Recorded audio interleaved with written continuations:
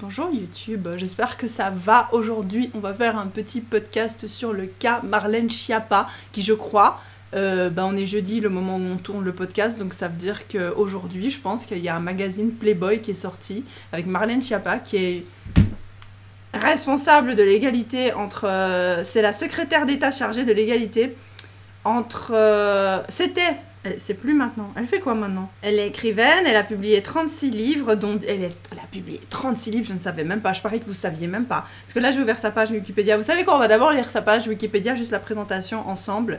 Marlène Schiappa, née le 18 novembre 1982 à Paris, est une femme politique et essayiste française. Adjointe au maire du Mans et conseillère communautaire au Mans, au Mans Métropole, je sais pas ce que c'est. Au Mans Métropole, à partir de 2014, elle est, elle est également responsable du pôle égalité femmes-hommes de la République en marche. Entre mai 2017 et juillet 2020, elle est secrétaire d'État chargée de l'égalité entre les femmes et les hommes et de la lutte contre les discriminations. Elle porte alors la loi renforçant la lutte contre les violences sexuelles et sexistes. Elle est ensuite jusqu'en mai 2022 ministre déléguée auprès du ministre de l'Intérieur chargé de la citoyenneté au sein du gouvernement Castex. En juillet 2022, elle est nommée secrétaire d'État chargée. Voilà, elle est secrétaire d'État.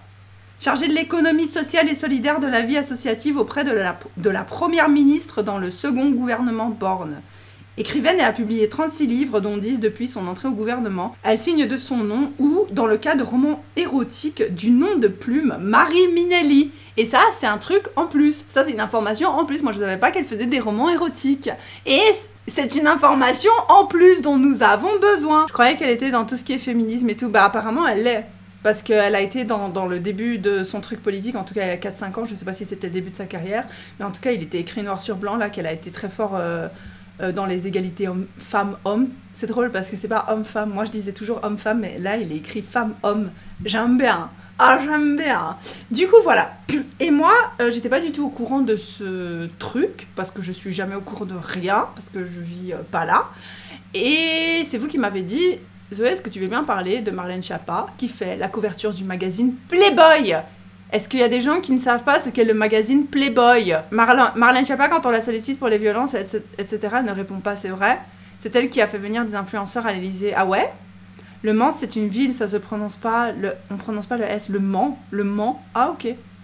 Ok, désolé, excusez-moi. Ok, ok. Et euh, du coup, pendant qu'on qu'on réfléchit, je vous mets mon livre Mon livre Puisque Marlène Schiappa a écrit, moi aussi Mon livre Juste avant de commencer, je voulais vous dire que j'ai écrit un livre et vu les retours hyper touchants et positifs auxquels je m'attendais absolument pas, je me suis dit qu'il fallait que je vous en parle. En bref, c'est l'histoire de Laure qui se retrouve propulsée dans un monde où la société ne s'est jamais développée et en plus elle a perdu ses gosses, donc bon. Elle doit vraiment apprendre à naviguer ce monde en oubliant quasi tout ce qu'elle connaît. Le but pour moi et celui du lecteur aussi est d'exposer l'impact de la société sur notre mode de pensée et de vie. Est-ce que ce qu'on juge normal est finalement si normal que ça? C'est à vous de le découvrir avec de sable et de sang de Mandarine Roxane, oui c'est moi, dispo en Kindle ou en papier à 15 euros seulement sur Amazon. Lien dans la description. C'était la pub. Remets le maillot pour le présenter. Pour le truc Playboy Ah, pour présenter le livre Ah oui Ah, je vais vous faire des petites photos euh, spicy spicy pour Instagram avec ça. Un magazine vraiment Harem Costa. Ben oui, Playboy. On va taper sur euh, ici pour voir euh, Playboy. Attention, Playboy Magazine. Je sais qu'il existe Playgirls aussi, hein. Hein, parce qu'on dit tout le temps Playboy, Playboy, mais moi j'ai entendu parler de Playgirl aussi. Does Playboy still exist? Le, le- mais le magazine en tant que tel n'existe plus apparemment. C'est la couverture, genre, euh, je me demande de quoi il s'agit. Euh, on va regarder l'article en français, comme ça je peux vous lire directement sans me prendre la tête. Playboy est un magazine de la presse masculine américain fondé à Chicago en 1953 par Hugh Hefner. Il est connu pour ses Playmates et ses photographies érotiques. Les Playmates qui sont donc les filles qui sont publiées dans Playboy. Mais aussi pour certains de ses articles, Playboy, est édité dans de nombreux pays et une version française est apparue entre 1973, donc 1973 et 2011.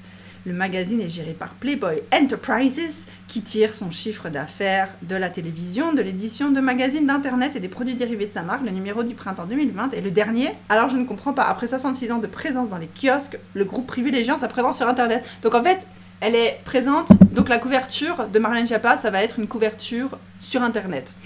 En physique, ça n'existe plus, mais la version digitale, ok. Bah c'est bien, c'est pas plus mal, hein, on n'a pas besoin de tout mettre en papier. hein. Bien, je pense qu'avec cette info, on peut, on peut imaginer le perso. Purée, oui, c'est bizarre, mais après tout, la mère de Marine Le Pen le fait aussi, donc bon. Non, le magazine existe. Ouais, le magazine sur internet existe, mais pas en version papier, apparemment. De ce que j'ai cru comprendre. Bref. Et du coup, euh, les Français, enfin, pas les Français, mais moi j'ai écouté deux, trois trucs ce matin parce que je me disais, bon, vous me demandez d'en parler. Du coup, j'ai écouté deux, trois trucs ce matin pour voir si le thème m'inspirait quelque chose. Et il m'inspire Et c'est pour ça que j'ai décidé d'en parler, parce que j'allais pas juste en parler pour le principe d'en parler, tu vois, pour, pour brasser de l'air. Hein. Bon, il y a certains qui vont considérer que je brasse de l'air encore maintenant, tu vois, mais je considère que c'est pas brasser de l'air du coup. Vous devriez regarder la vidéo de Flawless by Annès Anaïs sur Playboy. Ah, peut-être, je ne sais pas. On n'a pas le temps maintenant. On est en train de faire le podcast. Et le podcast, c'est donc euh, sur la chaîne Les Pensées de Zoé. Et donc, c'est juste mes pensées à froid sur un sujet donné. C'est le concept de la chaîne. Donc, il euh, n'y a pas. Voilà, on, va faire ça maintenant comme ça. Euh, du coup, vous, qu'est-ce que vous en pensez de voir du coup la secrétaire d'État ou l'ex-secrétaire d'État, en tout cas une représentante du gouvernement français, euh, en couverture du magazine Playboy. Et avec une interview dedans, complète. Donc euh, la problématique, c'est que le fondateur de Playboy, Hugh Hefner, est connu pour traiter ses filles de femmes-objets, donc moyen pour défendre l'égalité homme-femme. C'est juste pour se renseigner sur le sujet. Oui, car à l'époque où Internet commençait à voir le jour, comme aujourd'hui, les magazines en ligne marchaient mieux, mais on, on, on pris un peu de retard sur Internet. Elle disait quoi l'interview dedans? L'interview, si j'ai bien compris, L'interview est publiée aujourd'hui, c'est une interview en fait sur l'égalité euh, des sexes, quoi, sur l'égalité femmes-hommes. Je trouve ça abject et ridicule. D'accord, tu peux nous expliquer pourquoi, euh, Maria BBGD Un peu rien à faire, mais c'est pas trop le moment, effectivement. D'accord. C'est pas trop le moment. Oui, tu sais quoi? J'ai écouté une interview ce matin qui était avec d'autres représentants politiques. Je sais plus sur un truc d'info. Tu vois, c'était une petite interview. En tout cas, euh, c'était un extrait d'interview qui était mis sur YouTube pour me renseigner justement. Et il y a plusieurs choses qui m'ont fait réagir, notamment euh, dans la bouche d'une autre représentante politique qui, je pense, fait partie du parti de Marlène Schiappa, en tout cas de son côté, euh, a dit c'est pas le moment. Enfin, c'est pas le bon timing. Et je trouve que cette réflexion, elle est intéressante parce que, euh, honnêtement, elle fait ce qu'elle veut, mais on dirait une méthode pour détourner l'attention par rapport aux grèves, au 49.3, etc. Playboy est juste le moyen pour arriver à sa fin. Mhm. Pour moi, c'est juste du marketing pour partager ses idées. Hugh Hefner était un homme qui battait ses playmates, il les affamait, les ridiculisait, objectifiait ses modèles. Il est encore vivant, Hugh Hefner Il est mort, hein Il est mort, donc en fait, c'est pas pour lui qu'elle a fait. Tu vois ce que je veux dire? C'est pour le magazine, euh, le magazine Playboy, c'est pour quelqu'un d'autre. Elle, elle travaille pas avec, elle a pas travaillé euh, de connivence avec la personne qui faisait ça, qui battait les playmates et tout, tu vois. Donc là, je suis pas super méga d'accord d'utiliser cet argument-là en disant oui, mais lui, il est, il est méchant et du coup, elle s'associe à lui. Enfin, je sais pas si ça a du sens.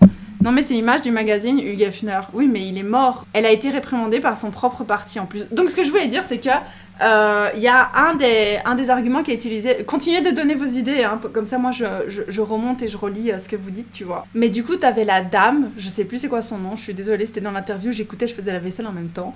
Et alors elle a dit oui, c'est pas le bon timing, c'est pas le moment. Le problème, c'est que c'est quand le moment? Parce que je vous rappelle aimablement que le moment où on faisait le truc de, des retraites, où toute la réforme de retraite était en train d'être mise en place, on, nous rabâchait avec le Covid, on nous rabâchait avec la guerre en, Ukraine, et c'est comme ça que le truc des retraites a été fait derrière votre cul, hein, les Français. Donc c'est pas le bon moment parce que c'est pas le bon moment pourquoi en fait, et ce serait le bon moment quand? Parce que avant ça, il y, a la, y a la crise économique, avant ça, il y a les problèmes avec, euh, avec la avec la Russie, l'Ukraine, machin. Avant ça, il y a eu la crise du Covid. C'est quand le bon moment en fait? Je sais pas comment.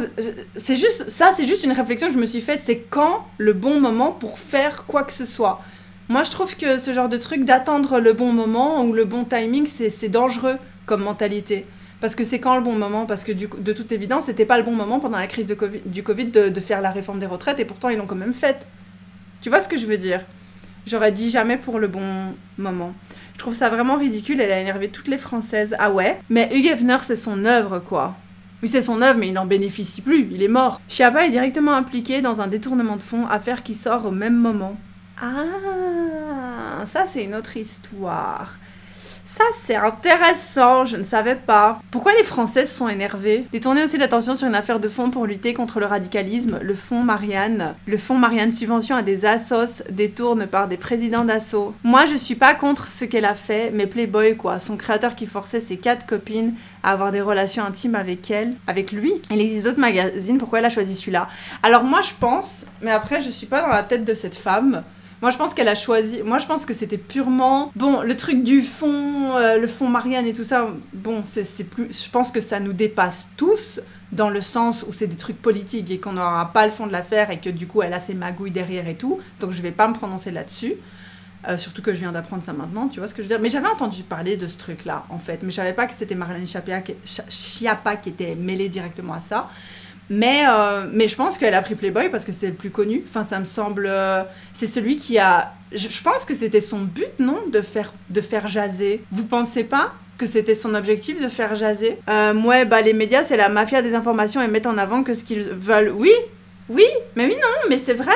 Mais c'est comme par exemple maintenant, quand on en parle, le truc de Marlène Schiappa, ils sont en mode c'est pas le bon moment, c'est pas le bon moment, mais on en parle quand même au lieu de parler de la réforme des retraites. Je sais pas si vous vous rendez compte de la dissonance cognitive qu'il y a là-dedans en fait. Je sais pas à quel point on en parle en France, mais je trouve ça intéressant dans la bouche d'une politicienne d'entendre c'est pas le bon moment mais on en parle quand même. Mais si c'est pas le bon moment, pourquoi pas passer ça sous le tapis? Pourquoi pas passer ça sous le tapis? C'est quelque chose. Euh, pourquoi ne, juste ne pas en parler en fait? Pourquoi c'est si important d'en parler du coup? En réalité, l'attentat envers le professeur est un prétexte pour récolter des fonds et de l'argent, on ne sait pas où il est. Ah oui, j'ai entendu ce truc. Moi je dis let's go, une autre révolution au niveau des retraites. Euh, c'est ça son but, c'est de faire jaser et après, elle est où le commentaire? Ça aurait, été, ça aurait pu être très honorable comme message. Le problème, c'est qu'elle agit de manière hypocrite car elle n'a pas défendu tout le temps les femmes dans les médias. Ah ouais? Mais ça, tu vois, c'est difficile. C'est difficile de se prononcer sur ça parce que c'est comme si tu devais faire à 100% tout le temps tout. Moi, je sais pas de quel cas vous parlez. Je, je défends pas le fait qu'elle ait pas défendu les femmes dans les médias à tous les niveaux. Tu vois, mais je me demande si c'était pas aussi. Moi, je la connais pas. J'ai pas, j'ai pas d'atome crochet avec elle. Je, je sais pas qui c'est, tu vois, genre globalement. Mais ça, moi, j'ai un tout petit problème avec la mentalité de oui, mais tu l'as pas fait tout le temps, donc pourquoi tu le fais maintenant? Parce qu'en fait, cette mentalité-là, elle empêche les gens de faire des choses. Hein. Si quelqu'un fait quelque chose, c'est comme si, par exemple, je jetais un, papier par terre et que tu m'avais vu. Enfin, parce que moi, cet argument très très euh, internetien, hein, je l'ai beaucoup entendu, pas spécialement sur moi, mais je l'ai beaucoup entendu et vu. Euh, par exemple, euh, je l'ai déjà donné hein, cet exemple-là, mais par exemple, Angel Phoenix, quand elle dit qu'elle est végane ou qu'elle veut faire attention à l'environnement et qu'on lui dit Oui, mais toi, euh, tu prends l'avion, oui, mais toi, tu manges du poisson, oui, bah alors on fait plus rien. Tu vois ce que je veux dire? Je sais que c'est un argument un peu à la con de dire ça, mais en, fait, désolé, mais c'est ces arguments-là. Je dis pas spécialement toi l'argument que tu viens de donner en disant oui, c'est un peu hypocrite. C'est ton avis et tu peux le penser. Tu vois ce que je veux dire? Mais en fait, si parce qu'elle si n'a pas toujours fait les choses bien, elle ne peut plus faire les choses bien sans être critiquée, alors on ne fait plus de choses bien tout court. Parce que c'est juste pas possible de toujours faire les choses bien à 100%. C'est ça que je veux dire. Genre, si par exemple, euh, je sais pas, t'entends toujours des trucs comme ça. Enfin, euh, moi, un jour, je pense que j'ai parlé d'un truc sur la pollution. J'ai eu le malheur de parler d'un truc sur la pollution et euh, on m'a répondu euh, oui mais toi tu voyages tout le temps. Ben alors je parle pas quoi. Enfin désolé mais alors on dit plus rien alors je et je ne parle plus. Mais pas à cause de ça spécialement tu vois. Mais euh, mais alors on ne parle de rien et on ne fait rien parce que on a tous des, des, moments où on fait pas les choses correctement. Après, je sais pas ce qu'elle a fait, c'est super méga grave ou pas, tu vois. Je pourrais comprendre si c'était un mec, c'était Désolé si, c'est un, violeur et après il vient se présenter sur la scène publique et il reçoit des fleurs et des roses parce qu'il défend la cause des femmes, alors qu'il a, il, est passé à côté euh, de la prison après avoir agressé euh, sexuellement des femmes, tu vois. Là, oui, on peut parler clairement d'hypocrisie. Mais le fait de juste. Enfin, de pas toujours pouvoir toujours défendre toutes les causes et de juste pas toujours faire, si ça, c'est un frein pour faire, alors les gens ne font rien. En fait, avec cette mentalité-là, vous empêchez aux gens de faire des choses.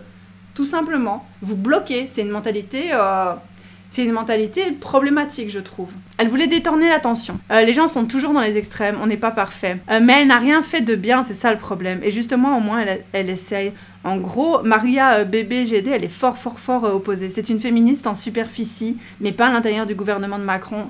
Le gouvernement de Macron se sert d'elle. Ah, c'est fort possible, hein. Ah, moi, je, je suis. Moi, j'ai aucun doute sur ce genre de truc. Je vous laisse bisous, bonne soirée, bon live, bisous, euh, Tatou. franchement, Évidemment, le gouvernement de Macron se sert de tous les gens qui sont dans son gouvernement, sinon pourquoi il serait là? C'est pour qu'on puisse s'en servir, c'est pour se servir de leur image. Hein. Donc oui, c'est tout à fait logique et ça me semble tout à fait vrai ce que tu dis. Moi, je me demande si... Euh, est-ce que c'est bien ou c'est pas bien, en fait, d'avoir fait du coup, euh, cette couverture Playboy. La politique est-elle une drogue dure ou pourriez-vous faire autre chose? Non, j'espère un jour autre chose. D'ailleurs, je fais autre chose pendant. Bah oui, elle écrit des livres, hein notamment des livres érotiques. Je vais vous lire un. je ne défends pas Marlene Schiappa, mais elle n'a pas tout le temps défendu les femmes, mais enfin, mieux vaut tard que jamais. Bah oui, c'est ça que je veux dire. Enfin, c'est pas parce que tu l'as pas fait avant que si tout d'un coup tu le fais maintenant, on doit te jeter la pierre parce que tu le fais maintenant, mais alors ne fais rien. Moi j'ai remarqué ça. C'est un truc, vraiment c'est un truc, un truc de politicien, hein, ça. Alors tu ne fais rien. Ne, ne fais rien vaut mieux que de faire, parce que quand tu fais, tu te fais engueuler limite quand tu essayes de bien faire. Parce que t'as pas fait avant, tu vois. Perso, ça me fait rien d'une part parce qu'elle représente ou non le, le, le gouvernement, c'est une personne avant tout, elle fait ce qu'elle veut, et par rapport au bon moment ou pas, perso, ça n'a pas de sens, le bon moment. Non, ça n'a pas de sens. Le truc du bon moment, moi, pour moi, c'est une manipulation médiatique le truc du bon moment parce que c'est jamais le bon moment en fait pour rien faire et que si c'était tellement pas le bon moment on n'en parlerait pas tout simplement, on n'en parlerait juste pas. Mais on, voilà, on en parle.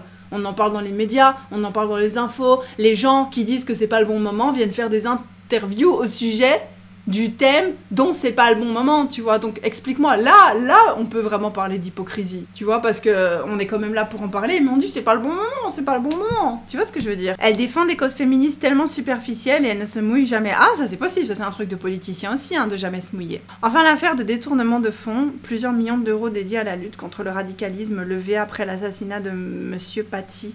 Ah oui, cette histoire-là. C'est bien un scandale. Mais on parle plus des photos de Playboy, de Playboy que ça. Mais évidemment qu'on va parler plus des photos de Playboy que ça. Parce que c'est le bon moment. C'est le bon moment de sortir le truc Playboy. Parce que sinon on viendrait pas sur la scène politique dire mais c'est pas le bon moment. On vient pour en parler, mais on dit c'est pas le bon moment d'en parler. C'est pas logique. Il lui posait des questions pourquoi avoir fait ça? Elle répond que c'est une occasion pour elle de se réapproprier son corps, mais aussi de s'émanciper. Le bon moment pour elle. Bah oui, le timing était parfait. T'inquiète pas qu'en politique, euh, le, timing, euh, à mon avis, hein, je suis pas politicienne, mais euh, quand tu es un minimum démagogue, tu sais que bon, c'est toujours le bon moment quand il se passe quelque chose, c'est toujours le bon moment. Ça fait plus de mal que de bien, c'est vrai? Pourquoi? Pourquoi tu penses que ça fait plus de mal que de bien? Ça, ça m'intéresse. Genre vraiment, c'est plus ça ma question en fait. Pour moi, la grande question de ce podcast, elle devrait tourner autour de pourquoi ça fait plus de mal que de bien. Parce que moi, en fait, j'étais pas du tout partie sur ça. Quand je me suis dit que j'allais faire un podcast sur ça, je voulais vraiment parler du thème un peu classique, mais qui me tient quand même vachement à cœur, de la sexualisation de la femme. Et de pourquoi ça dérange quand c'est une femme qui choisit de se sexualiser, alors que quand c'est les hommes qui choisissent de nous sexualiser, c'est moins problématique, tu vois. Mais si une femme décide de, se sexualiser elle-même, c'est un problème. On voit souvent l'argument, après c'est pas l'argument qui a été utilisé dans le thème ici présent, hein, mais euh, on voit souvent l'argument des, mecs en général, hein, les mecs qui sont un peu... Euh, qui disent « je suis pas un objet euh, et puis tu t'objectifies ». Oh, tu dis que t'es pas un objet, mais regarde, tu t'objectifies. Bah oui, parce que j'ai le droit, j'ai le droit de m'objectifier si j'en ai envie. Mais, mais toi, t'as pas le droit de m'objectifier si j'en ai pas envie. C'est comme si. Je veux dire, je vais, utiliser des termes choquants, je suis désolée. Je vais utiliser des termes choquants, mais je pense que ça va bien parler. C'est comme si moi je me masturbe. Ok, je suis en train de me masturber, j'ai le droit de me masturber. Mais toi, tu peux pas venir me masturber sans ma permission. C'est logique. Bah c'est pareil. Enfin, je suis désolée, ça, ça paraît un peu choquant, mais c'est pareil. J'ai le droit de faire ce que je veux de mon corps tant que c'est moi qui le décide. Mais toi, tu peux pas venir et décider à ma place de ce que je dois faire de mon corps. Tu n'apprécieras pas que je fasse ça avec toi, donc pourquoi tu fais avec moi? Tu vois ce que je veux dire? Moi, je vois pas le problème, je pense juste que c'est la personnalité et la personne en elle-même qui dérange pour certains. Ouais, moi je voulais parler de plusieurs choses, mais du coup, je me rends compte qu'avec euh, la dynamique qu'on a dans le live, je risque de mettre vachement les gens en colère. Moi, je, je, pensais pas du tout que, que les trites avaient cet avis-là euh, et ces a priori-là par rapport à Marlène Schiappa. Mais après, je sais que vous êtes très, très euh, dans le politique et tout. Tu vois que les Français, heureusement, les Français s'intéressent à leur politique, hein, pas comme d'autres pays. Et donc, euh, pas comme la Belgique. Mais du coup, euh, moi je parlais pas du tout. euh, moi je pensais pas du tout que ça prendrait cette direction-là en fait, je vous avoue ce, podca- ce podcast. Mais d'où l'intérêt de faire des podcasts en live avec vous, tu vois ce que je veux dire? Euh, je vais paraître coincée, mais un ministre, homme comme femme, se doit d'avoir une image liée à sa condition. D'autres femmes sur Playboy, je m'en fous. Mais une ministre qui, en plus, ministre de l'égalité et contre les discriminations sexistes, fait des photos et s'objectifie, ça me gêne beaucoup. Euh, je me remets en question, c'est peut-être que je suis une coincée, mais quand même. Ben moi, je trouve en fait qu'elle a le droit de s'objectifier. Et je, je- trouve que le fait qu'une femme s'objectifie et qu'elle défend la cause de- des femmes, je trouve que s'objectifier soi-même, se sexualiser soi-même par choix, je trouve que c'est lutter pour la cause des femmes. Si t'en as envie, tu vois, à partir du moment où tu te forces à le faire pour la cause des femmes et tout, tu vois, Franchement, non. Tu vois, tu vois ce que je veux dire? Parce que du coup, ça dessert la cause. Mais moi, je vois pas en quoi le fait de montrer qu'une femme. Tu sais qu'il y a toujours eu une bonne image, ou je sais pas, euh, elle a une bonne image, Marlène Schiappa? Tu vois qu'il y a toujours une bonne image. Décide de poser pour un magazine qui a tendance à objectifier les femmes. Moi, je trouve que c'est un choix. Sincèrement, désolé, mais moi, au premier abord, je trouvais que c'était un choix courageux, tu vois. Je trouvais que c'était un choix courageux parce qu'elle savait qu'elle allait s'en prendre plein la gueule. Et je trouvais que c'était un, choix de, je décide moi-même de m'objectifier. Je laisse pas parce qu'en plus, elle, elle est très jolie, hein.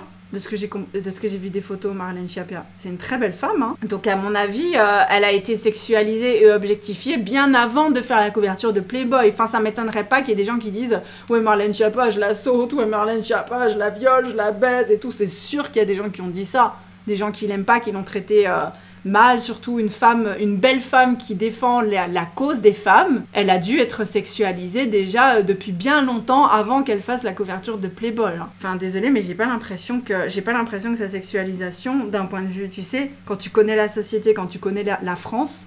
Quand tu connais les mentalités des Français, euh, enfin même moi quand je suis habillée comme ça, on vient me dire ouais toi je te vois, je te viole. Tu vois ce que je veux dire? Tu as vu les photos? Mais oui, elle est même pas. J'ai vu les photos, elles sont là. Vous voulez la voir? Il est, Et il est écrit 49.3 sur ses nichons. Putain, nichon, c'est pas un beau mot. C'est un, un mot dégueu. hein. Il est écrit 49.3 sur ses seins. Je pensais pas que ça sortirait comme ça, excusez-moi. Je me rends compte que ce mot est en fait euh, un mot de. un mot pas cool. C'est ça les photos. hein. Et les autres photos, euh, j'ai vu les photos à l'intérieur. Mais je sais pas, non, il est écrit ça? Non, non, il est vraiment écrit, euh, il est vraiment écrit 49.3 sur ses seins. Et j'ai vu les photos à l'intérieur du magazine aussi, et elle est habillée quoi. C'est un fake. C'est de la provoque à ce niveau-là. C'est un fake. Tu crois que c'est un fake? Je sais pas, moi je vois la photo du magazine là. Non, il est sur toutes les photos. Si c'est un fake, alors il a vraiment été très euh, très fort relayé. Hein. Attends, non, parce que j'ai une autre couverture ici qui n'a rien à voir avec la couverture qu'on vient de voir. Une couverture où elle est complètement habillée. J'ai un extrait des infos. Je sais pas, il y a plusieurs couvertures, on dirait, avec des posters et tout. Enfin, il y a plein de photos. En tout cas, moi j'ai vu l'intérieur du magazine. euh, parce qu'il l'a montré dans l'interview. Ils ont montré l'interview, elle était complètement habillée, elle n'était pas du tout. Euh, fait partir du gouvernement de Macron, elle a marqué 49.3. Elle est pas d'accord avec ça ou elle est d'accord avec ça? Je sais pas, ça veut rien dire, je sais pas. Je sais pas si c'est un fake ou pas. Si c'est pas, si c'est pas un fake, c'est encore pire que ce que je pensais, mais je pense pas qu'elle se serait amusée à ça. Je sais pas, alors elle vit dangereusement. hein. Ce n'est ce n'est que mon avis, mais pour moi, une personnalité politique, homme, femme, ministre ou président, n'a pas à faire d'interview dans des magazines People ou ce genre de choses. Ah, mais tu sais quoi, ça pour le coup, hein. Ça pour le coup, ouais. Franchement, oui, je suis d'accord. Si on prend Marlène Schiappa, genre, en tant que femme, en tant que militante euh, pour l'égalité des femmes qui va en couverture de Playboy, moi, ça me choque pas. Mais moi, je t'avoue que ça me dérangeait déjà. Et vous allez, vous allez me dire que je suis petite d'esprit, mais moi, ça me gênait très très fort de voir Macron dans les vidéos de, de, de Raph et Carlito. Hein. Ou McFly et Carlito. McFly et Raph? De McFly et Carlito. Je sais pas pourquoi j'ai dit Raph et Carlito. Moi, ça me dérangeait. Je trouvais qu'il avait rien à faire là, quoi. Je trouvais que c'était pas sa place d'aller dans les vidéos de. Et je trouvais que c'était pas sa place de poster euh, dans sa story Instagram euh, One Piece ou euh, je sais pas quoi là. Des trucs One Piece, quoi. Tu vois ce que je veux dire Des trucs de manga et d'anime. One Piece ou l'attaque des titans ou un truc comme ça. Je trouvais ça, je trouvais pareil. Et je trouve ça pareil quand je, et je pense pareil quand je les vois sur euh, TikTok ou quoi, les politiciens. Je trouve que c'est pas leur place. Je trouve que c'est pas leur place. Pas parce que je suis pas en mode euh, oui les politiciens euh, ils ont pas le droit d'avoir une vie en dehors de, de, de leur vie politique c'est pas du tout ce que je dis c'est juste que ils font semblant d'être comme nous et de se ils font semblant d'être comme nous pour se rapprocher de nous et pour s'attirer nos bonnes foi nos bonnes faveurs je sais pas si ça se dit, pour nous séduire, pour s'attirer notre sympathie et tout, mais en attendant, derrière, ça reste des politiciens. Ça, c'est pas les gens du peuple. Tu vois ce que je veux dire? Et je trouve qu'ils doivent rester à leur place. Ça me dérange aussi. euh, Oui, ils veulent s'attirer nos bonnes, nos, bonnes, nos bonnes grâces. Ils veulent faire genre, on est des gens comme vous. Regardez, je lis One Piece. Regardez McFly et Carlito. Regardez, euh, je réponds, je regarde, je connais l'attaque des Titans, nanana, tu vois. Mais en attendant, derrière, le mec, il rentre, euh, il rentre dans sa grande maison. il est super riche. il est complètement privilégié. Il est complètement déconnecté. Hein. Tu vois ce que ils sont complètement déconnectés de nous. Moi, je sais pas. Et moi, je trouve que c'est de la manipulation médiatique. Ça, c'est vrai. Et dans, cette optique-là, je trouve que effectivement, dans cette optique-là, Marlène Schiappa n'a rien à faire en couverture de Playboy, mais au même titre qu'elle n'a rien à faire en couverture d'un autre magazine, du, du Voici, ou je sais pas quel magazine en France vous avez encore, tu vois. Elle a rien à faire en couverture d'un magazine où elle donne des petites interviews euh, légères et tout, tu vois ce que je veux dire. J'ai depuis évité de regarder McFly et Carlito, je les associe avec le président. Moi, ça m'a gêné. Mais je comprends que McFly et Carlito l'aient fait parce que je pense que beaucoup de Français beaucoup de jeunes Français se sentent déconnectés par rapport à la politique en France. Ah, je te parle même pas de la politique en Belgique, hein. Mais je pense, je pense que ils l'ont fait vraiment en se disant c'est pour mieux renseigner les gens et tout. Mais je trouve que c'est déplacé en fait. C'est déplacé c'est déplacé. Et c'est presque. Moi, j'ai trouvé ça presque. je trouve que c'est presque un manque de respect quand tu es élu par le peuple pour être président. Reste président, reste dans ta place de président et reste le président des Français. Mais ne viens pas faire comme si tu lisais One Piece, quoi. Enfin, je veux dire, peut-être tu l'as lu, mais tu l'as lu pour pouvoir en parler sur Instagram, pour pouvoir euh, t'attirer les bonnes grâces de la jeunesse, quoi. C'est de la manipulation pure et dure. C'est comme les présidents américains qui se prennent en photo avec leurs femmes, leurs enfants et leurs chiens, quoi. Moi, je trouve que ça n'a rien à faire dans, dans un discours politique. On doit pas savoir qui est la femme de qui. On doit pas savoir qui est le chien. On doit pas savoir quel manga tu lis. On doit pas savoir en fait. Ils sont, mais ils sont censés rester à leur place. C'est tout qui reste à leur place en fait. Ils ont été élus pour rentrer dans une case qui reste dans leur case. Et vous savez que de base, je suis contre les cases. Mais quand tu fais partie de l'entité même qui est à l'origine de la création même des cases et que tu fais partie de l'entité qui décide de mettre les gens, le peuple dans d'autres cases, tu n'es pas bien placé pour toi-même sortir de la case. Ce n'est pas à toi de sortir de la, de la case quand tu dis aux gens euh, suis ma loi, suis mes règles, rentre dans les cases que moi je te fixe. Moi je trouve que c'est problématique. Mais peut-être que je suis euh, peut-être que je suis coincée du cul, hein, c'est possible, je suis peut-être coincée, coincée du cul. Elle pouvait pas aller faire ses photos dans un autre magazine autre que ce magazine-là avec son passé ratchet et honteux. Allez, dit, vous la détestez à ce point Je savais pas du tout. Moi, je pensais qu'elle était appréciée, cette femme, quand j'ai vu qu'elle elle, elle- représentait la cause femme-homme. Moi, je trouvais ça cool, quoi. Mais ce que je voulais dire aussi, c'est que je, je voudrais juste, question ouverte, hein, question ouverte quand même. Autant que moi, moi, je vous avoue que c'était un partenariat avec le gouvernement cette vidéo, Zoé, Maria euh, bébé GD. Maria bébé GD, ton avis m'intéresse parce que je sens que tu es très euh, pas contente du tout avec ça et, et j'ai peur de pas te lire tout le temps parce que je voudrais savoir ce que tu dis. Qu'on le veuille ou non, Playboy représente un magazine qui a humilié, affamé, tapé des femmes. Des victimes n'ont pas oublié, alors je trouve ça petit. D'accord. Je vois ce que tu veux dire. Mais je vais dire autre chose. C'est pas pour la défendre par rapport au fait du truc de Playboy et tout. Parce que moi, j'avoue que je suis pas contre le fait qu'elle ait fait un truc pour le magazine Playboy. Je comprends le truc par rapport à l'image. Moi, j'avoue que j'avais pas du tout cette image-là de Playboy. Et je pense que malheureusement, beaucoup de gens n'ont pas cette image-là de Playboy parce que euh, bah, beaucoup de gens sont juste pas au courant. Et c'est pas juste non plus. Euh, plus de gens devraient être au courant euh, dans le cas où Hugh Hefner a effectivement fait toutes les choses euh, que tu dis qu'il a fait. On devrait tous être au courant, mais on l'est pas. Donc est-ce que dans la conscience publique, on a vraiment cette image du magazine qui maltraite les femmes ou est-ce qu'on n'a pas plus l'image du magazine qui objectifie les femmes? Moi, je suis d'accord avec le fait qu'en fait plus de gens devraient savoir que Hugh Hefner a fait ce qu'il a fait euh, en tout cas, il a fait ce que tu dis qu'il a fait, dans le cas où il l'a fait, mais je suis pas sûre que c'est vraiment l'image qu'on en a. Et si elle, elle sait, oui, alors je trouve ça petit aussi, effectivement. Mais quand tu parles de l'image générale qu'on a du magazine, moi, la première chose que j'ai vue, c'est une femme qui a juste possédé sa sexualité en symbole, en symbole, pas d'émancipation, mais en symbole de réappropriation de la sexualisation des femmes. Et moi, je sais qu'il y a beaucoup de gens qui trouvent ça problématique, mais moi, je suis pas contre la réappropri... la réapproprisa... réapproprier, je sais pas le prononcer le mot, mais vous avez compris, de la sexualisation des femmes. Je sais qu'il y a plein de gens qui sont pas du tout à l'aise avec cette idée-là, et je le comprends. Moi, ça me dérange pas du tout. C'est le principe comme l'exemple avec la masturbation que j'ai donné un petit peu avant. Si tu te masturbes toi, c'est ok, tu vois. Mais si quelqu'un vient de masturber sans te demander la permission, ça fait chier. Et du coup, bah c'est littéralement les femmes qui disent Regarde, moi je me masturbe parce que j'ai envie et pas parce que tu m'as demandé de le faire, connard Tu vois ce que je veux dire? Et ça, j'aime bien. Et c'est un truc qui fait. Et, en fait, je pense qu'il y a aussi. Mais ça, c'est juste ma théorie. Il y a une manipulation de cette vision de réappropriation, voilà, j'ai su le dire, dans les médias, dans la pensée publique, dans le consensus public, je sais pas comment ça s'appelle, la pensée collective, quoi. J'ai l'impression qu'il y a une manipulation de cette idée pour toujours garder la main mise sur les femmes d'une certaine manière parce que on continue d'être sexualisé et objectifié. Mais on peut pas s'objectifier nous-mêmes. Je sais pas si ça a du sens. Peut-être ça veut rien dire. Peut-être ça te parle pas du tout parce que je sens que c'est pas du tout ton délire. Mais voilà. Euh, ah oui, ces romans érotiques sont full racistes et misogynes. Ah ouais. J'aimerais bien en lire un juste pour le, juste pour savoir, tu vois, juste pour vérifier. Et en fait, c'est juste ça. Moi, quand je vois les femmes, par exemple, je voulais en parler aussi, tu vois, du truc. Euh, ça vous dit un thème sur la trad wife? Parce que vous me l'avez demandé beaucoup ce thème-là.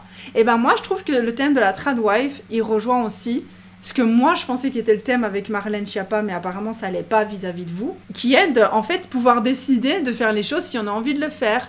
Et il y a un problème avec, malheureusement, je, je vais pas appeler ça le féminisme parce que je considère pas ça du féminisme. Je considère pas que c'est du féminisme de partir du principe que parce que tu es une femme, t'as pas le droit de faire telle ou telle chose au nom de la lutte des femmes, parce, ou t'as pas le droit de faire telle ou telle chose parce que euh, ça dessert à la cause de la femme, de ton point de vue à toi, dont le fait euh, de poser en couverture de Playboy. Je sais pas si ça a du sens, mais parce que t'es une femme, admettons que les trucs de Playboy, admettons, je sais que je sais qu'il faut vérifier les faits et tout, tu vois, mais admettons le truc de Hugh Hefner, ça n'existe pas. Ça existe, mais on fait comme si ça n'existait pas. Pourquoi? Est-ce que on doit se battre contre Enfin, on dit oui, les femmes, elles peuvent faire ce qu'elles veulent, les femmes sont libres, les femmes sont ci, les femmes sont ça, il faut se soutenir, mais on se soutient jusqu'à ce que une femme fait ce qu'elle veut, c'est-à-dire euh, poser en couverture d'un magazine érotique, tu vois, ou se sexualiser. Et là, c'est un problème. Et c'est un problème, et le problème, c'est que c'est pas du féminisme de dire ça. Vous pouvez pas dire que vous êtes féministe et regarder une femme posséder son corps ou réapproprier sa, se réapproprier sa sexualité et faire un choix dans sa vie et lui dire qu'elle ne fait pas assez bien, qu'elle dessert la cause des femmes, parce qu'en fait, en choisissant pour elle-même ce qu'elle veut faire, elle, elle sert à la cause des femmes. Elle profite de son droit d'être une femme et de faire les choses qu'elle voulait faire. Et moi, je trouve qu'il y a, il y a tout un truc qui tourne autour de ça qui est vraiment problématique est vraiment intéressant. C'est vraiment, ce serait vraiment intéressant d'avoir plus d'avis là-dessus, mais on peut faire un thème, euh, un thème plus tard sur la tradwife et tout, tu vois. Mais c'est juste que pour moi, il y a une manipulation. Je saurais pas te dire d'où elle vient, mais quand tu entends les discours des gens, tu sens qu'il y a qu'il y a quelque chose de pas logique, que la continuité du raisonnement, il tient pas la route quand tu dis oui mais les femmes sont libres et puis deux secondes après tu dis oui mais si t'es une femme t'as pas le droit de faire ça parce que du coup euh, ça va à l'encontre de la c'est pas logique. Les femmes sont libres, mais elles peuvent pas faire ça sous prétexte que les femmes ont été sexualisées pendant des années. Donc si elles veulent se sexualiser elles-mêmes ou si elles veulent travailler elles-mêmes à la maison pendant si elles veulent elles-mêmes devenir femmes au foyer et pondre des gosses et tu vois tout ça, elles peuvent pas sous prétexte que avant on les forçait, mais que maintenant comme on les force plus, elles peuvent plus faire ce qu'elles ont envie de faire. Donc on les force à ne pas faire ce qu'elles veulent faire sous prétexte du féminisme, sous prétexte que D'autres femmes ont été forcées, toi tu n'as pas le droit de le faire, tu vois, c'est pas du féminisme, je suis désolée, c'est de la discrimination. C'est de la discrimination, c'est du sexisme. La misogynie en fait. Parfait exemple de la femme voilée qui n'est pas libre d'après la société. C'est pas parce qu'il y a des femmes voilées qui ne sont pas libres de fait et qui veulent s'émanciper du, voile que les femmes qui veulent mettre le voile ne peuvent pas mettre le voile. Ça n'a pas de sens. Certaines féministes ne soutiennent qu'un mode de pensée. Et eh ben moi je suis désolée mais c'est pas des féministes. Vous voulez vous faire appeler quelque chose, vous devez cocher les cases. Et moi, c'est la raison pour laquelle je peux pas me faire appeler quoi que ce soit à aucun niveau parce que je, coche pas les cases. Tu veux te faire appeler quelque chose, coche les cases. Je pense que chaque structure de lutte ou même de régime social économique ont forcément à un moment leurs propres injonctions, malheureusement parfois, car individuellement, chacun a ses limites et donc peut desservir une lutte, par exemple. Je suis d'accord, c'est pas être féministe. Non, c'est pas être féministe. Euh, et si tu soutiens, si, si t'es féministe et que tu soutiens qu'un mode de pensée, à savoir que soi-disant le féminisme et l'égalité homme-femme, femme-homme, moi je préfère dire femme-homme, du coup j'aime bien, et l'égalité femme-homme, bah alors il y a un problème. Parce que du coup tu devrais... Euh, j'aurais dû mettre des guillemets à féministe. Faut mettre des guillemets. Ouais, c'est être. Mais c'est même pas être féministe extrémiste parce que moi, je sais qu'il y a plein de féministes. Moi, je connais des féministes extrémistes. Enfin, vraiment, objectivement parlant. Je connais des féministes extrémistes, mais elles sont pas comme ça. enfin, je veux dire, elles sont extrémistes dans le sens. euh, elles laissent rien passer. Mais j'ai jamais. En tout cas, des filles que moi je connais. Je les ai jamais entendues dire euh, ouais les femmes voilées euh, elles desserrent la cause euh, ouais les filles qui sont sur OnlyFans en général c'est des meufs qui disent ouais à fond de balle vas-y tu vois fais ce que tu veux fais ce que tu veux t'es une femme tu fais ce que tu veux t'as le droit tu choisis mais c'est des filles qui vont aller qui vont aller manifester dans la rue et qui vont t'engueuler si tu si tu si tu commets un, un impair tu vois pour vous le féminisme peut se définir comment? Pour moi le féminisme je sais pas si c'est le thème c'est un gros thème hein. on pourrait faire un thème sur le féminisme si vous avez envie et je pense pour retourner sur le sujet de Marlène, de du coup, je pense que beaucoup de gens se sentent menacés aussi par une femme politicienne qui, je trouve, n'a rien à faire dans ce magazine, mais par une femme qui retire dans son combat le privilège aux hommes de pouvoir objectifier euh, et sexualiser sans punition aucune euh, les femmes elle leur prend leur privilège, mais elle, elle profite du fait qu'elle puisse le faire. Alors que si ça aurait été par exemple Lena Situation, mais moi je trouve que, je sais pas si Lena Situation elle ferait ça. Moi je pense que Lena Situation elle se serait fait incendier aussi, mais c'est juste qu'on l'aurait pas vu parce que ce serait resté du- de notre côté du spectre. Ce serait resté de notre côté, nous on est à fond genre ouais vas-y et tout, mais je pense que Lena Situation elle se fait défoncer même parce que euh, a des petits seins, parce qu'elle a les cheveux bouclés, parce que elle se fait défoncer pour tout et n'importe quoi Lena Situation.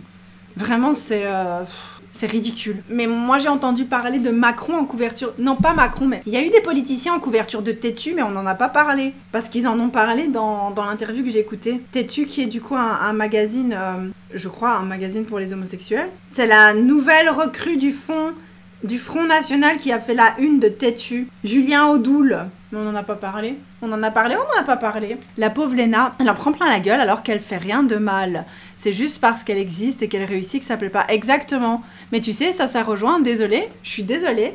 Mais désolée, c'est un peu bizarre dit comme ça parce que parce que je suis sûre que c'est pas le cas de tout le monde. Mais je pense que les hommes et les femmes ont tous peur de voir des femmes réussir, être fortes, posséder des choses. Tu vois ce que je veux dire?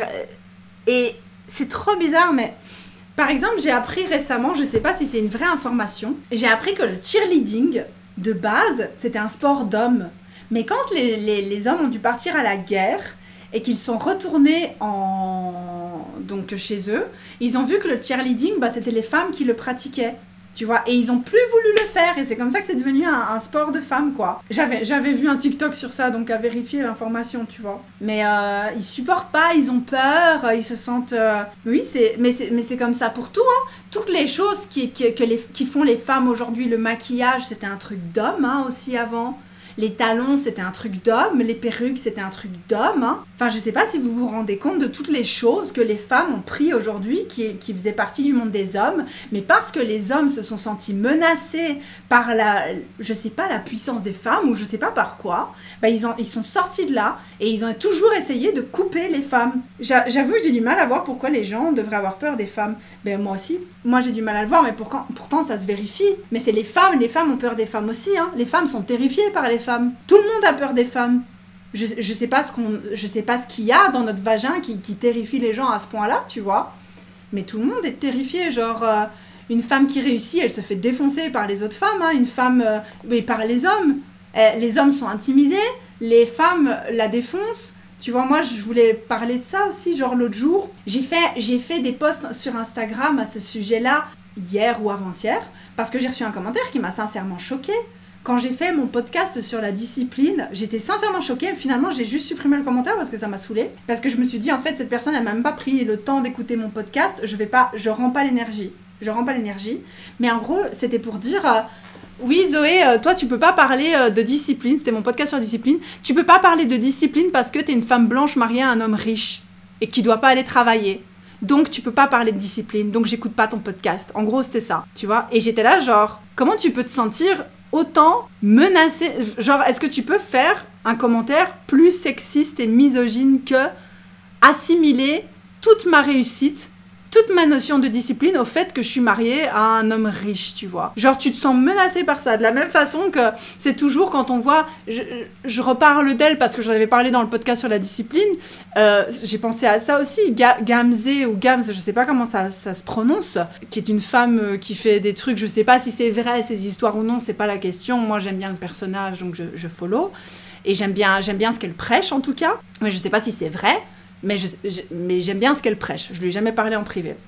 Et en fait, elle, elle montre qu'elle est riche, enfin, elle montre même pas, elle explique qu'elle est riche, qu'elle est millionnaire, et da Et tout le monde dit, ouais, c'est ton mari, c'est ton mari. Genre, elle, elle n'a aucun mérite. Genre, les, les, les, femmes ne peuvent pas accepter, les femmes et les hommes ne peuvent pas accepter qu'une femme fasse quelque chose, accomplisse quelque chose, réussisse de manière générale. C'est très très dur pour plein de gens. Hein. Heureusement, pas pour tout le monde. Pas pour tout le monde, hein. c'est sûr, je suis sûre que la 9 personnes sur 10 dans le chat ne se sentent pas menacées par le fait que t'es une nana euh, qui soit millionnaire sur TikTok, tu vois. Euh, il faut être SDF pour parler de sujets difficiles. Mais oui, mais tu sais quoi, c'est drôle. Non, c'est vrai, mais t'as raison. Hein. C'est un bon commentaire. Ouais, limite, faut être SDF, quoi. Même pour Georgina, la femme de Ronaldo, certes, il lui a donné, a ouvert beaucoup de portes, mais maintenant, elle a son argent. Comme si elle avait rien fait, tu vois. Non, c'est vrai, t'as raison. Il me semble que lorsqu'on reproche certains comportements, c'est inconsciemment par jalousie de ne pas pouvoir faire pareil ou ne pas avoir fait pareil, en plus de la peur. Mais je pense aussi, et là, et là, c'est de nouveau un propos problématique que je vais tenir. Ça m'étonnerait pas que, dans le thème Marlène Schiappa, du coup, que de nouveau, le fait de voir une femme pouvoir choisir d'être en couverture de Playboy pour faire parler ses arguments, hein, il n'y a pas de mauvais jeu de mots, hein, il n'y a pas de mauvais jeu de mots, euh, pour défendre sa cause. Je pense que toutes les femmes qui peuvent pas se permettre ça, je pense qu'il y, en a beaucoup qui se sentent menacées par le fait que Marlène Schiappa puisse disposer de son corps et l'associer à la politique quand nous, qu'entre d'autres femmes qui sont peut-être moins jolies, qui ont peut-être moins de pouvoir, j'en sais rien, tu vois, c'est complètement subjectif, hein. Bah, arrive même pas à faire entendre que c'est l'heure de manger, quoi, quand elle sonne la clochette pour venir manger. Tu vois ce que je veux dire? Chiappa fait ça pour la notoriété, mais il ne faudrait pas confondre notoriété et popularité. Pour moi, c'est la même chose. Mais après, elle fait ce qu'elle veut. On est en 2023. La politique s'est beaucoup désacralisée depuis longtemps, mais je ne sais pas si ce sera payant politiquement ensuite ou stratégie de diversion par rapport aux retraites. Bah, le fait qu'on en parle, c'est une stratégie de diversion par rapport aux retraites. On n'était pas obligé d'en parler, tu vois ce que je veux dire. Ça, je l'ai déjà dit tout à l'heure, quoi. Mais le problème de tout ça, la racine du mal, c'est que les gens soient dans des cases et pas juste considérés simplement comme des humains. Je suis complètement d'accord. Pour moi, la racine du problème, la racine de tous les problèmes, c'est les cases. Moi, je suis contre les cases. Je suis contre dire toi, tu es comme ça, toi, tu es comme ci, toi. Je, je, je m'y oppose, mais je, je m'y oppose tellement. Vous pouvez pas savoir. Ça, c'est mon combat. Je sais pas si on peut pas inventer un parti politique ou un parti euh, idéologique, un groupe idéologique. Non, parce qu'on peut pas, on peut pas faire ça. Mais j'aimerais bien qu'on puisse tous se rejoindre, genre les féministes, les, radicalistes, ou je sais pas comment ça s'appelle, les extrémistes, euh, les véganes, les, je sais pas, j'ai pas assez d'imagination, mais qu'on puisse tous se retrouver dans ce point-là, qui est qu'on arrête les cases. Viens, demain, on arrête les cases. Du coup, tout le monde sort des cases. On n'est plus vegan, on n'est plus féministe, on n'est plus, euh, on n'est plus ci, on n'est plus ça. Le seul truc qu'on est, c'est genre les choses qu'on fait. On, est ce qu'on fait. Moi, je pense être arriéré sur la politique. Enfin, je trouve que c'est un corps de métier qui ne doit pas être désacralisé ni bafoué. Que ce soit avec Chiappa, Macron, euh, n'importe qui. On doit avoir une image lisse parce qu'on n'est pas dans un monde de bisounours. Tu vois, oui, non, mais je suis d'accord parce que c'est les casques eux-mêmes créés. Enfin, j'ai déjà expliqué ça.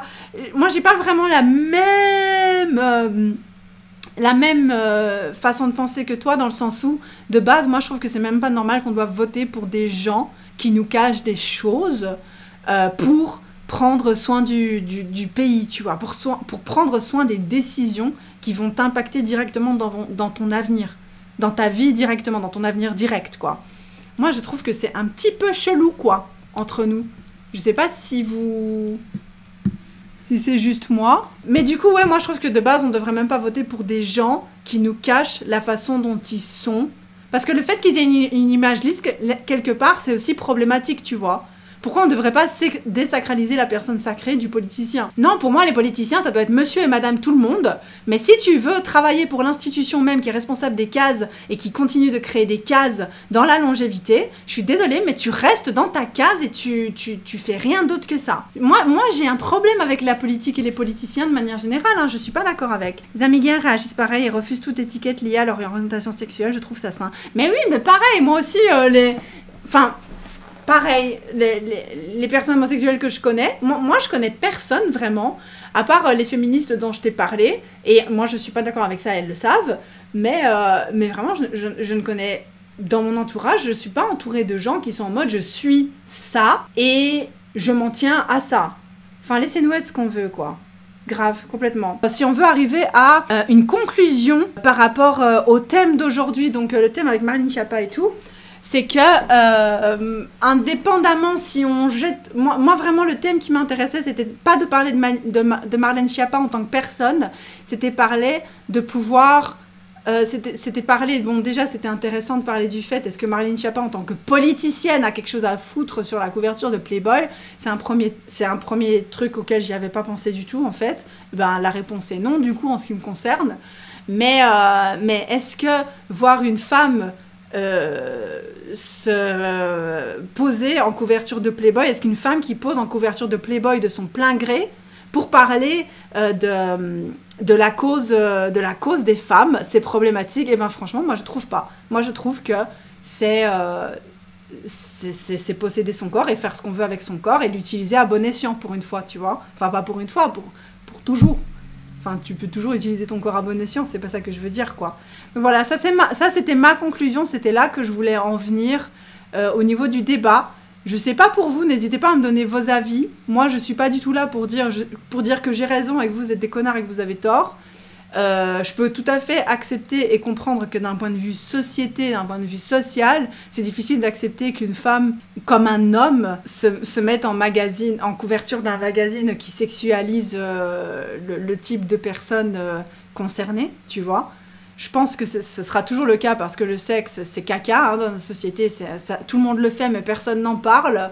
Donc c'est problématique. Tu vois, de toute façon, je peux comprendre que des gens, d'un point de vue sociétal, ne, veulent, ne pas accepter ça. Vraiment, c'est quelque chose, euh, j'accepte totalement. Si vous dites, euh, moi je trouve que euh, personne n'a rien à faire avec des magazines sexuels, que ce soit les hommes comme les femmes, franchement, je comprends. Je suis pas d'accord, mais je comprends. Tu vois Le fait de le faire n'est pas problématique, c'est la raison qui est problématique, couvrir les vrais problèmes dans ce moment. Oui, oui, peut-être, oui. Moi, comme j'ai dit plus haut, ce qui dérange, c'est une personnalité politique qui fait ce genre de choses. Et ben, je comprends ça aussi. Franchement, euh, franchement, pour le coup, là, je suis vraiment d'accord. Je trouve que les personnages, les personnages politiques, ils doivent rester dans leur, dans le rôle de personnage, de, de personnage euh, politique. C'est eux qui l'ont choisi, tu vois, pour le coup. Euh, et ils sont rentrés dans une institution qui a toujours été comme ça. Maintenant, ils veulent la changer, mais ils veulent continuer de laisser le peuple dans les cases. C'est vraiment, c'est... Bref. Voilà Ceci marque la fin de euh, ce podcast. J'espère qu'il vous a plu, j'espère que vous l'avez trouvé intéressant.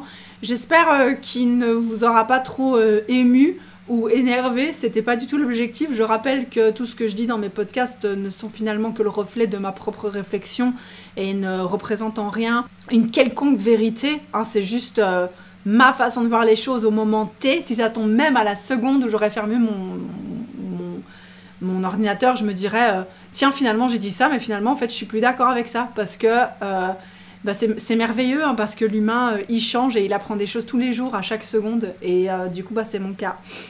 Donc, à l'instant T, voilà, c'est comme ça que je me sens, et c'est comme ça que je pense. Bonne journée, bonne soirée, merci beaucoup pour ce podcast. bisous, bisous, ya.